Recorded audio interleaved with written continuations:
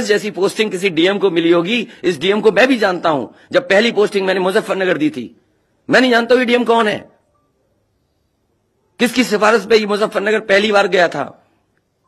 बेईमानी करा रहा है ये डीएम और जवाब ये डीएम का कि ट्रेनिंग के लिए जा रहे हैं। तो आखिरकार पॉलिटिकल पार्टीज़ को क्यों नहीं जानकारी दी? क्या जवाब है उनके पास इसका? और जब बाकायदा गाइडलाइन लिखी हुई है यहाँ पर कि आप ईवीएम का मूवमेंट नहीं कर सकते, आप कैसे ईवीएम का मूवमेंट कर रहे हैं? आप पूछिए जिन्होंने दिया बयान। अरे भाई, मैं तो कह रहा हूँ किसी, आपने जो पॉलिटिकल चुनाव लड़ रहे हैं, उनके बारे में क्यों नहीं बोले आप? और आप भी डीएम की बात को मानते हो? जो 20 केवल कुल संख्या में 20 थी, एक छोटी पिकअप गाड़ी पे, वो कुछ लोगों के द्वारा रोकी गई, और ये कंफ्यूजन हुआ उन लोगों में कि ये ओल्ड ईवीएम तो नहीं है। बाद में वो धीरे धीरे इतने लोग यहाँ इकट्ठे हो गए।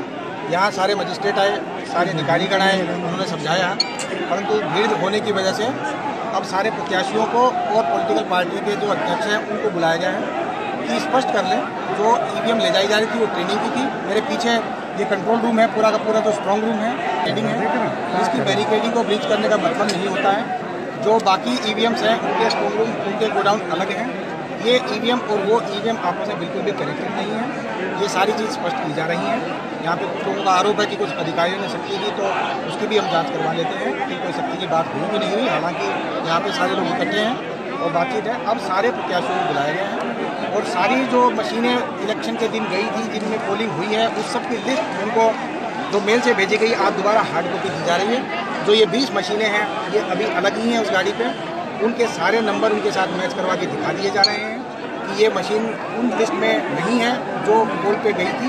ये प्रशिक्षण की मशीनें अलग होती हैं, प्रशिक्षण के नंबर हैं, जिनके प्रशिक्षण पहले काउंटिंग के पोलिंग के दौरान हुए थे, वही काउंटिंग के दौरान हो रहे हैं। कल के जो काउंटिंग है, उसके बारे में अब हमने ये भी निर्णय ले लिया है कि कल की जो काउंटिंग है, बिना ईवीएम के ही कर्मचारी की करा दी जाएगी।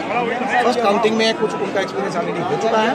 बाकी परसों जब वो काउंटिंग के लिए आएँगे, घंटे पहले ईवीएम वाला प्रशिक्षण दोबारा अंदर ही हाल में डेमो के माध्यम से प्रोजेक्टर के माध्यम से दे दिया जाएगा। ये भी निर्णय ले लिया गया है। इन लोगों का आरोप है सर कि गाइडलाइन का वायलेशन किया गया इस तरह का कुछ गाइडलाइन का जो पालन होता है वो ओल्ड ईवीएम के लिए होता है। ओल्ड ईवीएम के लिए गाइडलाइन के पालन का सारे